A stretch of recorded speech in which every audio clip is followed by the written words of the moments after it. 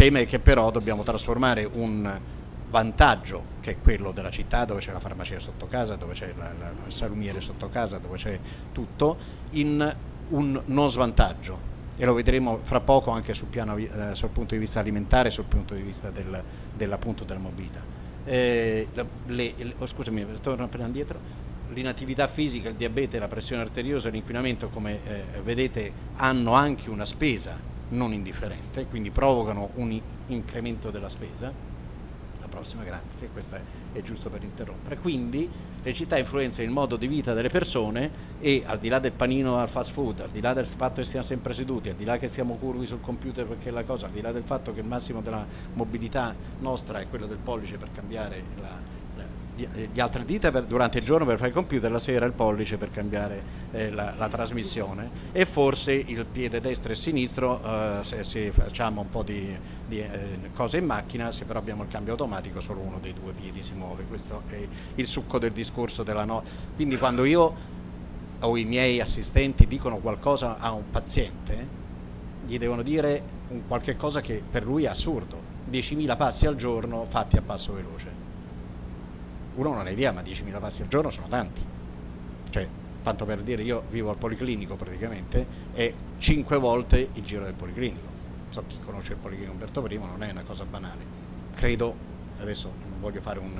una richiesta di alzata di mano, ma insomma molto pochi qua dentro fanno queste cose, salvo quelli bravissimi che la sera fanno eh, un po' di, di, corsa. Prego, la prossima. Eh, questo oggetto che abbiamo costituito, tanto per dirvi il, che poi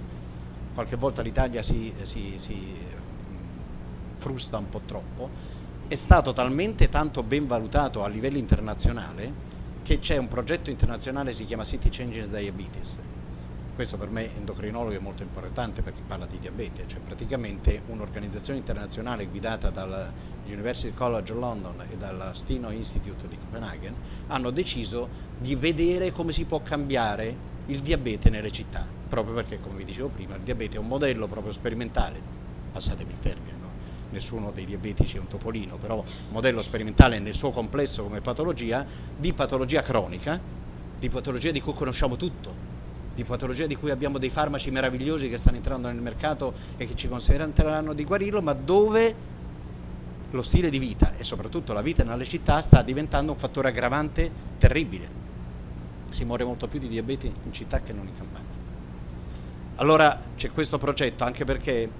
un'altra cosa che vi terrorizzerà un pochino se pensate ad essere potenziali pazienti, su 100 milioni di diabetici 50 milioni sanno di esserlo, 25 milioni hanno almeno un trattamento, 12 milioni e mezzo hanno un trattamento abbastanza buono, 6 milioni e mezzo vanno a target con il risultato finale quindi da 100 milioni, quindi il 6% circa nella media mondiale, al risultato ottimale di cura del diabete. Nelle città questo è molto più basso, specie nelle città, come vedete i, i simboli qua sotto delle città, non so se riuscite a vederle, sono le città coinvolte, a Mexico City o a Shanghai questo numero va al 2%, a Copenaghen sale al 15%. Quindi un'influenza della tipologia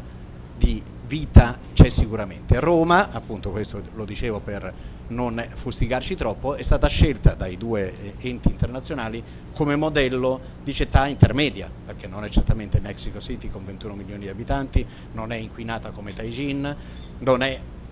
una piccola città tutta infiocchettata come Copenaghen, ma è stata scelta come città italiana da poter eh, eh sfidare diciamo, le altre per cercare di raddrizzare questa curva e portarla sempre più in alto. Grazie, alla prossima.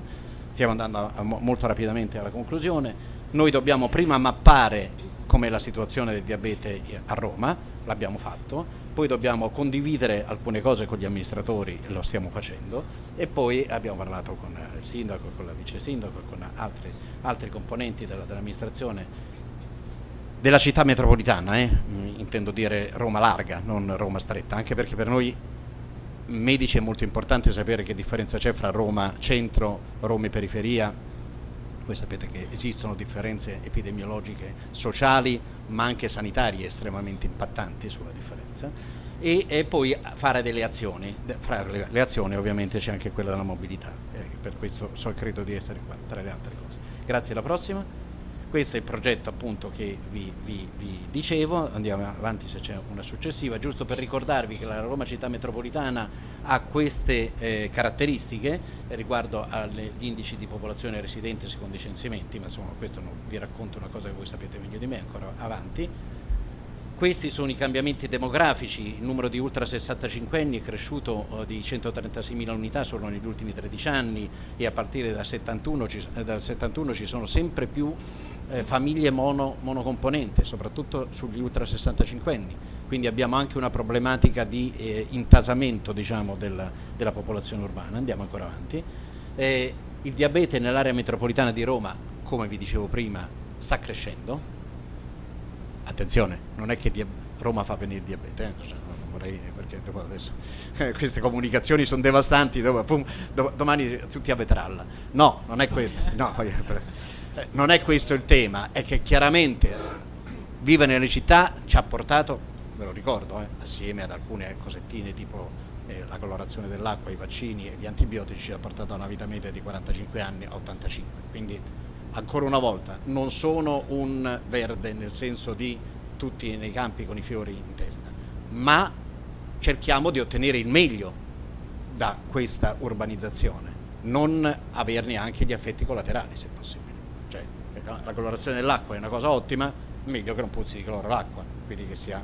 ben equilibrata, dai, ecco, direi la stessa cosa riportata a città. Quindi il diabete sta aumentando e il diabete a Roma provoca un aumento soprattutto de, per fattori di obesità e quant'altro. Avanti. Come vedete il Lazio si colloca fra le eh, regioni nell'ambito del della media italiana con maggiore eh, incidenza di diabete e Roma nelle sue varie articolazioni ha una prevalenza chiedo, scusa, eh, piuttosto importante, andiamo ancora avanti. E ovviamente noi non è che facciamo un discorso oggi, facciamo un discorso di prevenzione facciamo un discorso prospettico. Allora, da qui a dieci anni cerchiamo di fare possibilmente che Roma diventi,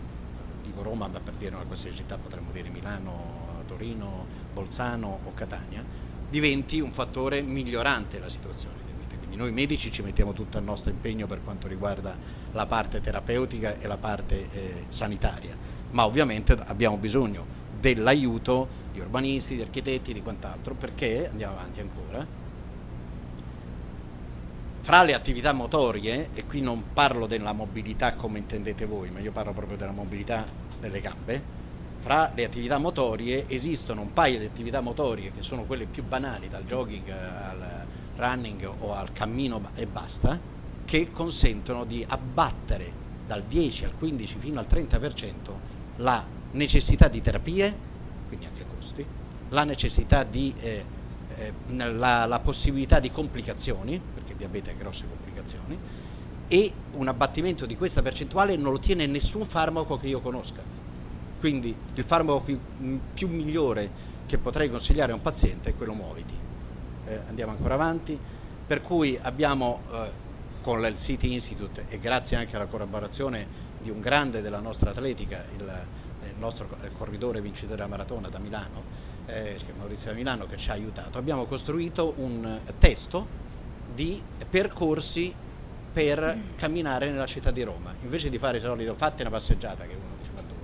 Abbiamo fatto il percorso per i musei, il percorso attraverso le cupole di Roma, il percorso attraverso le colonne di Roma, attraverso i, monumenti più belli, quello in periferia, quello verde, compagnia belli. Abbiamo fatto proprio un librettino, eh, che non so se qui ce n'è, eccolo sì, quello lì che vedete a sinistra, non so se riuscite a vederlo, che abbiamo dato e stiamo dando ai pazienti. Allora prenda questa insulina, prenda questa compressina e faccia questo. Fa parte del pacchetto diciamo, che verrà prima o poi, domani abbiamo una riunione specifica all'Istituto Superiore di Sanità, verrà dato a, al, al diabetico romano, in maniera da avere una prescrizione anche un pochino più ludica che non la solita fate l'iniezione, prendi la compressa, vai a letto presto, mangia di meno e compagnia. Grazie, credo che siamo praticamente in fondo.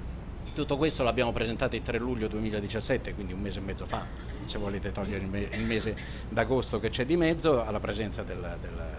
ministro Lorenzini e di tutta un'altra serie di, di, persone e eh, credo la prossima sia l'ultima. Eh, in buona sostanza io, e con questo concludo, eh, diciamo che chiedo a voi che siete così importanti per la vita sociale e per l'amministrazione e per il sistema della mobilità nel, in Italia e nelle città in particolare di eh, darci una mano perché ho sentito prima l'introduzione del, eh, del, collega dell'ISPRA che ha, introdotto il convegno, obiettivamente, obiettivamente se uno fa eh, intanto 50 di quei mille passi per andare a prendere l'autobus o